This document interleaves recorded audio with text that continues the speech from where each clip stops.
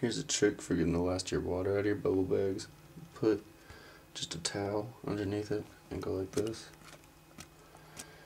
So basically just the towel will soak up the water and the hash will stay on top of the bubble bag. So it's just faster than a drip and it'll make it dry out. Alright.